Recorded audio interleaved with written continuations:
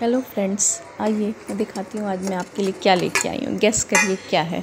Wow surprise open ये है। आप बताइए, ये क्या है? मुझे लगता है सब लोग तो जानते ही होंगे, ये है ठिकुआ।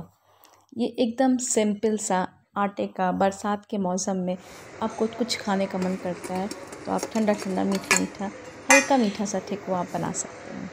ये देखिए, ये बहुत ही अच्छा है। आइए तो फ्रेंड्स मैं आज आपको बताती हूँ इसकी रेसिपी कैसे बनती है? सबसे पहले आपको गेहूँ का आटा लेना है। आटा। ठीक? फिर आपको नारियल सॉरी ये क्या है? ये ये नारियल लेना है। ये हमारा ये इलायची लेनी है। ठीक? और वो था सौंफ था ठीक? मैं मिस कर गई थी। ठीक। देन आपको ढाई सौ ग्राम घी लेना है। डिश। ठीक? ओके? और साथ में आपको गुड़ लेना है। हमारे पास ऐसा ही गुड़ था। आजकल तो मार्केट में पाउडर भी मिलते हैं तो मेरे पास ऐसा ही गुड़ था।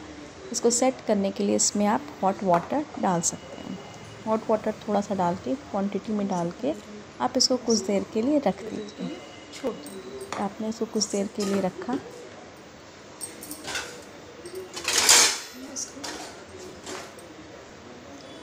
फिर आपको इसको सेट कर देना है। देन आपको, अब आपको वो जो आपका गुड़ का पेस्ट बन गया है, उस पेस्ट को आप छान लेंगे स्टेनर की हेल्प से। अब आप इसको स्टेनर से गुड़ को छान लीजिए।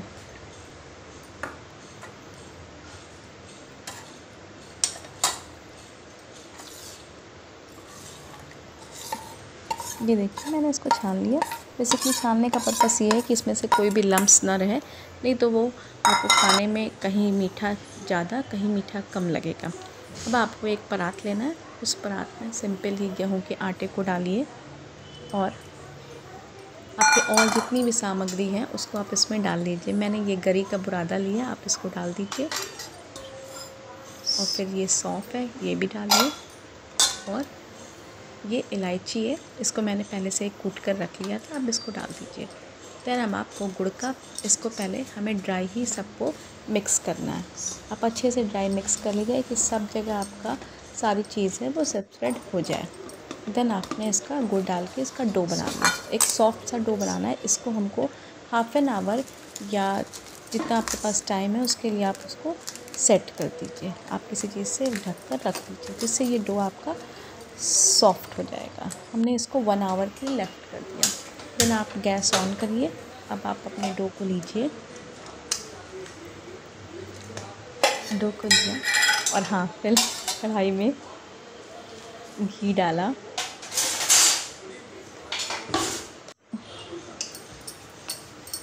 और एक बड़ी सी पूड़ी बना लीजिए। पूड़ी क्या रोटी जो भी है, वो बड़ा सा बना लीजिए। देन आप छोटी सी ग्लास या कटोरी जो आपके घर में अवेलेबल हो, उससे इसको छोटे छोटे स्मॉल पीसेस में कट कर लीजिए। इससे क्या होगा, आपका टाइम बहुत बचेगा और साथ में आपको देखने में भी सुंदर लगेगा और सारे जो ठेकुए होंगे वो इक्वल बनेंगे।